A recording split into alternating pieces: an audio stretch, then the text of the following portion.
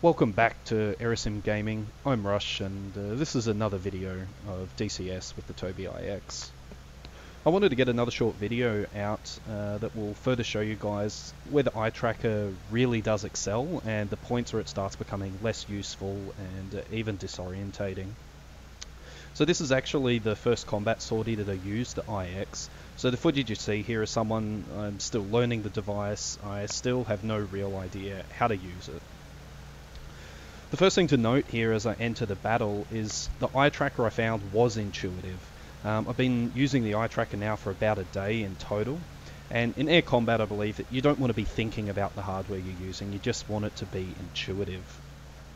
And so as I said in the last video, the eye tracker works really well to about 60 degrees to either side of the center line of the aircraft. Uh, looking past my 9 or 3 o'clock, it really starts to struggle. And I'll try and point that out in this video here, exactly the points when um, it starts to struggle. And here what you can see is where it really starts to shine, is I've latched onto this guy here in the Focke-Wulf 190, and I really just start tracing him around. I'm able to lock my focus on the aircraft, and the camera just does the rest.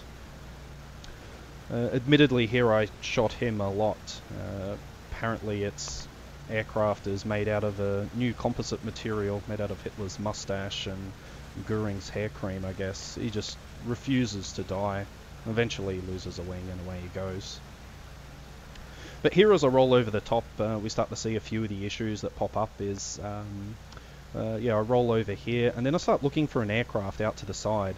And here I really lose track of what's up, what's down and trying to track back to the center line of the aircraft, it kind of takes this arc over the top. There's no direct track to the center line of the aircraft. Uh, and that's really a problem. And here it wasn't so bad because I entered the maneuver before I started moving my eye line.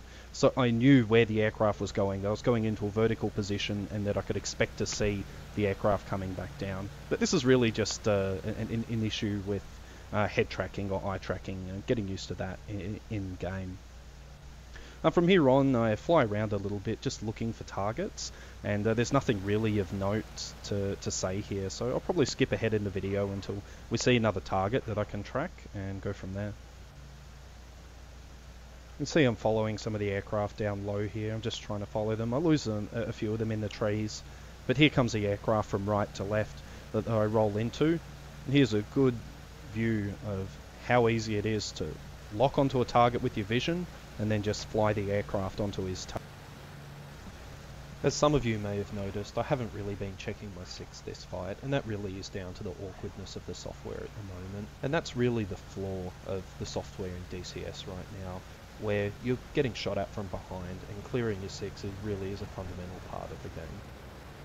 But anyway, thanks again for watching the video. If you have any requests, uh, comments, or thoughts, please just let me know in the comments below and I'll try and get back to you.